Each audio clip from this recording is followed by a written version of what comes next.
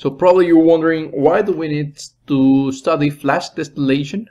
Why do we need to get to know uh, how to design a flash drum, how to operate a flashing system, or maybe even how to build or how do they work the flash cascade systems? Well, in my personal opinion, it is one of the most fundamental uh, unit operations that you will encounter in process separation technologies. Actually, it is considered one of the simplest ones because it will essentially separate a vapor and a liquid with several compositions change. It's based on mass transfer, of course, and it is, even though it's very simple, it's extensively used in the industry. You will see it plentiful in the petroleum refining industry, petrochemicals, pharma, and so on.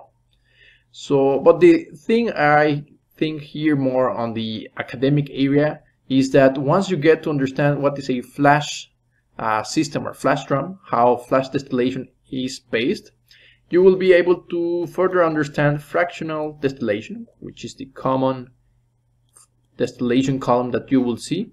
You could you will understand that each stage or each tray is actually modeled as a flash distillator.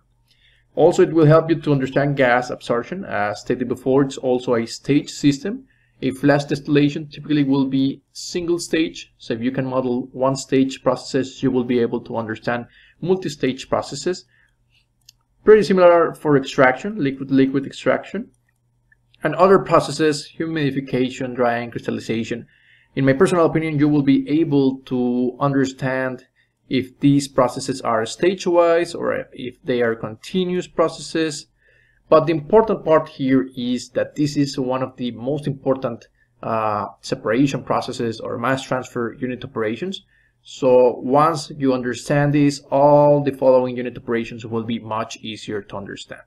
So I hope you really pay attention to this course, to flash distillation, and hopefully when you get to distillation or gas absorption, extraction, and other unit operations, you will have a strong fundamentals on distillation and you will be able to solve these unit operations very easily.